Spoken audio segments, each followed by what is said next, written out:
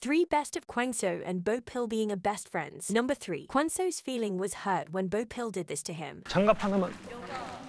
장갑 여기 있어 장갑 여기 있어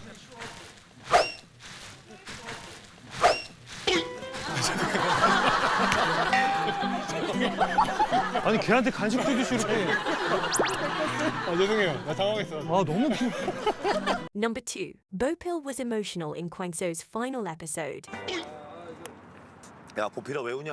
눈 없어 눈이 못 야 보필아 왜 우냐? 눈 없어 눈이 못 들어갔어 야, 너 벌써 울어? 왜 울어? 너는 왜 울어? 아니, 왜 그래?